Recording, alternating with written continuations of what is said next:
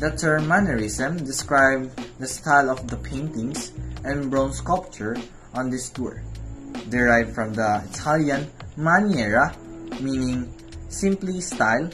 Mannerism is sometimes defined as the stylish style for its emphasis on self-conscious artifice over realistic depiction.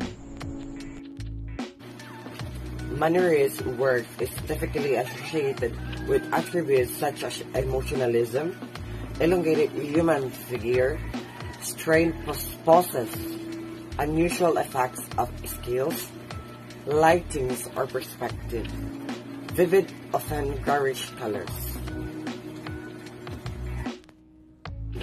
So when does Mannerism begin? So Mannerism is also known as the late Renaissance.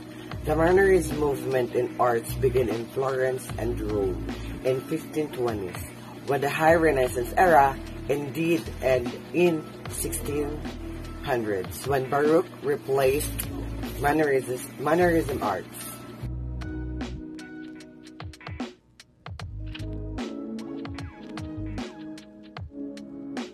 Agnolo Bronzino, Italian, A Young Lady with Her Little Boy, 1540.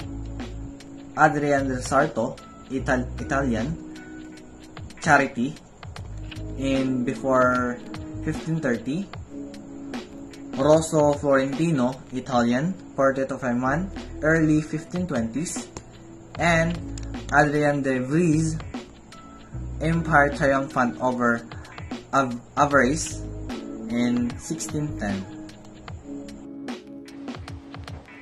In addition to mannerism, mannerist artists evolve a style that is characterized by artificiality and artiness, by a truly self-conscious cultivation of elegance and technical facilities, and by a sophisticated indulge in the bizarre.